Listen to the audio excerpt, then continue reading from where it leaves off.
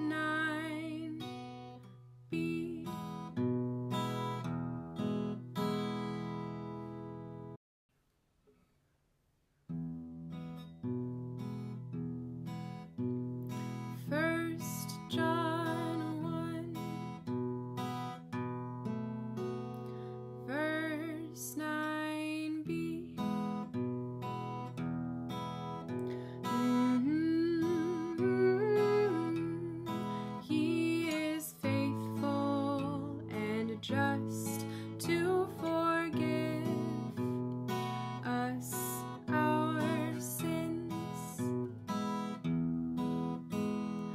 Mm -hmm. He is faithful and just to